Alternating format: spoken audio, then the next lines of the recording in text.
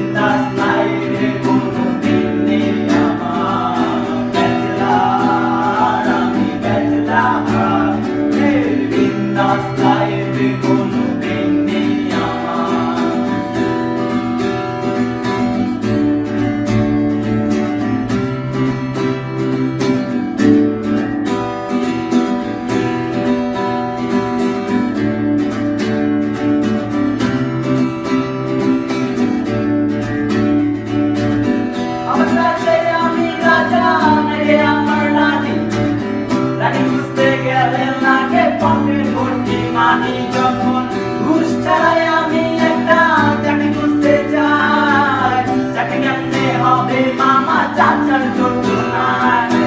আমার কাছে আমি রাজা নারে আমার রানী রানী খুঁজতে গেলে লাগে পকেট ভর্তি মানি যখন ঘুষ ছাড়াই আমি একটা চাকরি খুঁজতে যাই চাকরি কেমনে হবে